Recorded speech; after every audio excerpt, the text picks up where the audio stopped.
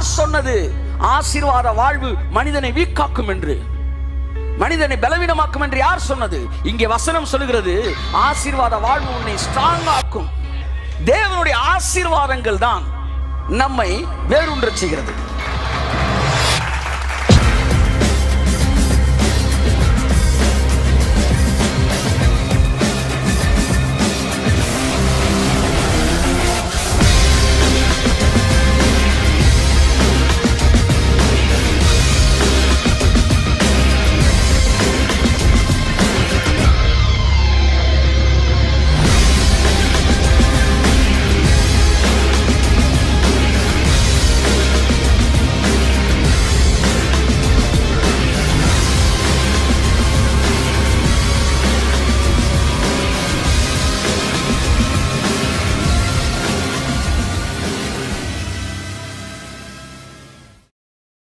உங்களுடைய வாசனையை உங்களுடைய குணங்களை உங்களுடைய உங்களுடைய கேரக்டர்ஸை ரசிக்க போகிற லட்சக்கணக்கான பேரை தேவன் எழுப்ப போகிறார். கரங்களை தட்டி கர்த்தர் கண்டி சொல்லுவோம். அப்ப என்ன சார்? இந்த கிறிஸ்துவுக்குள்ள இருந்தா பேரு கெட்டு போயிரும் பேரு கெட்டு போயிரும் தானே பைபிள்ல ஏசினார் சொன்னாரு. என் நாம நிமித்தம் உங்களை நிந்திப்பார்கள். இதெல்லாம் சொன்னாரு. அப்ப நம்ம பேரு வந்து ஸ்பாயில் ஆகத்தானே செய்யும். அது எண்டு கிடையாது. ஆனாலும் பயப்படாதிருங்கள். வெளியாக்கப்படாத மறைபொருளும் இல்லை. அறியப்படாத ரகசியமும் இல்லை அங்கதான் முடியுது. முடிச்சு சொல்றாரு பவுல அந்த காலத்துல அசிங்கப்படுத்தினாங்க. ஆனா தேவன் அவன் பேரு உலகமெங்கிலும் பிரஸ்தாபப்படுத்தினார். அப்ப பிசாசு டிஸ்ட்ரிக்ட் லெவல்ல உங்க வாசனையை கெடுத்தா தேவன் இன்டர்நேஷனல் லெவல்ல உங்க வா அல்லா தட்டு. ஆமேன். ஆமென். ஹalleluya சோ தேவன் உங்கள் வாசனையை பெருக பண்ண போகிறார். நீ வருகிற நாட்கள்ல நீங்கள் வெட்கம் அனுபவித்த சகல தேசத்திலும் கீர்த்தியும் புகழ்ச்சியும் உண்டாகும்படி தேவன் செய்வார். கரங்களை தட்டி கத்த கண்டி சொல்லுவோம். பன்னிரெண்டாவது ஏழாம் வசனம் வாசிமா. அவன் நிழலில் குடியிருக்கிறவர்கள். திரும்புவார்கள். எல்லாம் சொல்லுங்க திரும்புவார்கள். எல்லாம் சொல்லுங்க.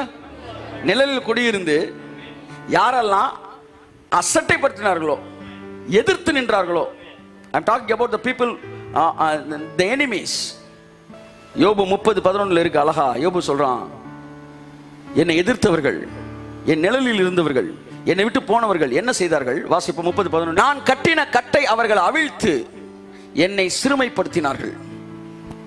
அவர்களும் கடிவாளத்தை என் முகத்துக்கு முன்பாக எதெல்லாம் நீங்க சொல்லி கொடுத்தீங்களோ அதெல்லாம் உங்க முன்னாடியே தூக்கி எறிவாங்களாம் புரியுதா உங்களுக்கு? அதுல வந்து உங்களை பழி வாங்கின ஒரு திருப்தி அவனுக்கு. நீ தானே எங்களுக்கு இதை சொல்லி கொடுத்த? ஆ? உன் முன்னாடியே நான் செய்யாம இருப்பேன்.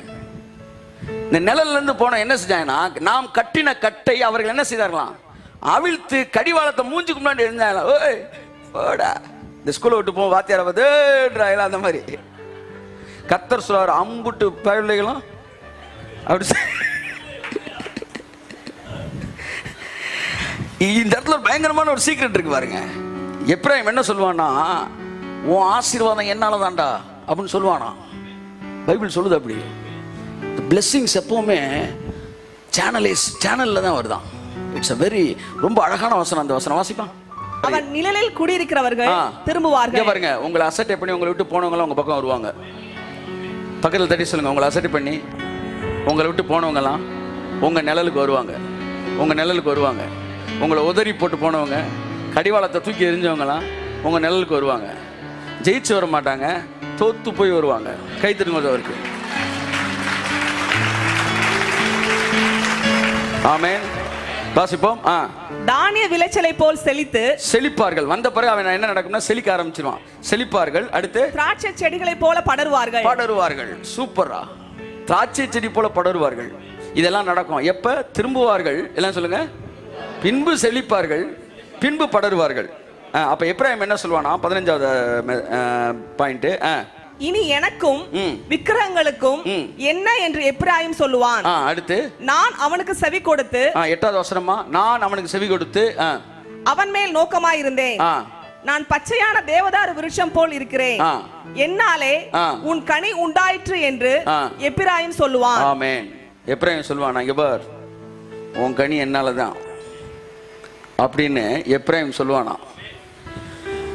உங்கள் வாழ்க்கையிலேருந்து உங்கள் குடும்பமோ யாரோ உங்களை அசட்டை பண்ணி ஒதுங்கி இருந்து எது இருந்தாலும் அவர்கள் திரும்பவும் இந்த கிருபைக்குள் நீங்கள் இருந்துக்கிறபடினால் உங்கள் பக்கம் திரும்புவார்கள். நீங்கள் சொல்லுவீங்க அவங்க வாழ்க்கையில் ஆசீர்வாதம் வர ஆரம்பிக்கும்.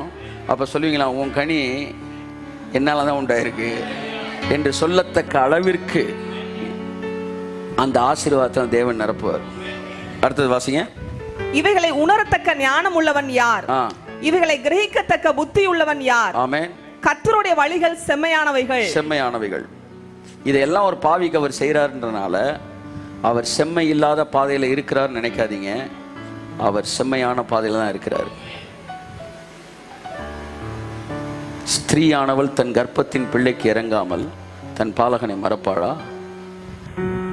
மறந்தா அது நியாயமா? மறக்கக்கூடாது. அப்படியே எல்ஷடா என்றால் தாயை போன்ற மாறுபடையவரான் அதனால் ஒன்று அவர் அணவணைச்சார்னா அது அநீதியே கிடையாது. ஒரு அம்மா எப்படி பிள்ளைய மறக்க முடியும்? அதனால் உன்னை நான் மறக்க முடியாது. நீ அநீதின்னு சொன்னாலும் நான் நீதியை தான் செஞ்சுக்கிட்டு இருக்கிறேன். மத குருமார்கள் அது அநீதின்னு சொல்லலாம். ஆனால் தேவனை பொறுத்தவரை அது நீதி. அவர் தகப்பனாக இருக்கிறார். கட்டாயம் தான் பிள்ளையை வந்து மீண்டும் சேர்த்து தான் ஆகணும். அதுதான் நீதி. உன் பார்வையில் அது நீதி இல்லாமல் இருக்கலாம். தேவனுடைய பார்வையில் அது நீதி. சகோதரன் என்பவன் அவன் இடுக்கன் உதவத்தான் பிறந்திருக்கிறான். அவருடைய சகோதரனாக இருக்கிறாரு. அதனால் நீ நீ நல்லவனை கட்டணும் உனக்கு சகோதரன்றனால உனக்கு உதவி செஞ்சு தான் ஆவார். மனவாளனாக இருக்கிறபடினால தன்னுடைய ஆசீர்வாதங்களை பங்கு கொடுத்து ஆகணும். சிநேகிதனாக இருக்கிறனால பைபிள் சொல் சிநேகிதன் எல்லா காலத்திலும் சிநேகிப்பான். நீ பரீட்சையில் பாஸ் ஆனாலும் உனக்கு ஃப்ரெண்டு கூட இருப்பான். நீ ஃபெயில் ஆனாலும் ஃப்ரெண்டு கூட இருப்பான். யோபு சிநேகிதனை பற்றி அழகான ஒரு வார்த்தை சொல்றாரு. இதை மட்டும் நீங்கள் வாசித்துக்காங்க வாசித்தா கடவுள் உங்களை வெறுப்பாருன்னு உங்களுக்கு என்ன உங்களுக்கு வரவே வராது. யோபு ஆறு பதினாலு. வாசிங்க.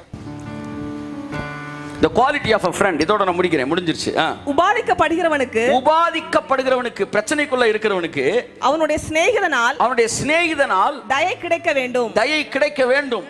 அடுத்து அவனோ அவனோ சர்வ வல்லவருக்கு பயப்படாதே போகிறான். சர்வ வல்லவருக்கு பயப்படாமலே போறான். ரெண்டு வசனமா இருக்கு. ஆனா மூல மொழிபெயர்ப்புல ஒரே வசனம். எப்படி இருக்குன்னா உபாதிக்கப்படுகிறவன் சர்வ வல்லவருக்கு பயப்படாமல் போனாலும் அவன் சிநேகிதன் அவனை சிநேகிக்க வேண்டும். கைத்தெழுங்க அவருக்கு சர்வ வல்லவருக்கு பயப்படாமல் போனாலும் சிநேகிதனால் அவனுக்கு என்ன கிடைக்க வேண்டும்? தயை கிடைக்க வேண்டும். அதான் சொல்றான் டே நான் தப்பு பண்ணனே வச்சுக்காங்கடா. நீங்களே எனக்கு ஃப்ரெண்டு தான்டா யோபு சொல்ல நீங்க எனக்கு ஃப்ரெண்டு தானே? நான் சர்வ வல்லவருக்கு பயப்படாமல் போனாலும் நீங்க என்ன சிநேகிச்சிருக்கணுமே? ஏனென்றால் சிநேகிதன் எல்லா காலத்திலும் அதனாலதான் இயேசு சொன்னா நான் உனக்கு ஐயா தட்டு.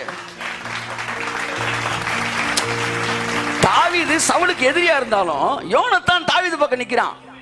எங்க அப்பாவுக்கு உனக்கும் அண்டர்ஸ்டாண்டிங் சரியில்லை. ஆனால் நான் உனக்கு ஃப்ரெண்டு அதனால எல்லா காலத்துல சிநேகிப்பேன். இயேசு எனக்கும் பிதாவுக்கு அண்டர்ஸ்டாண்டிங் சரியில்லாமல் இருந்த போதும் அவர் என்ன நேசிச்சார்.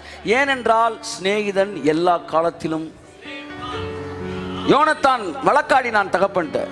நம்முடைய யோனத்தான் இயேசு கிறிஸ்து அபிரமாய் செய்கிறார். நீதிமான்கள் அவைகளில் நடப்பார்கள். பாதகரோ கடவுளை புரிஞ்சுக்கிறாதவன் இவனுக்கு எல்லாமே தப்பாவே தெரியும். ஆனால் நீதிமான்கள் தவறை தெரியாது.